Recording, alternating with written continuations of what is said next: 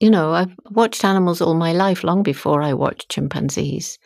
And I think that having empathy with the creature you're watching is an immensely powerful tool. It, it gives you a platform from which you can start asking questions. I think when you do field work, you basically not only experience the science and the animal that you study, but you also get to experience yourself. If you don't understand yourself, you can't understand the animal that you're studying and how to study that particular species.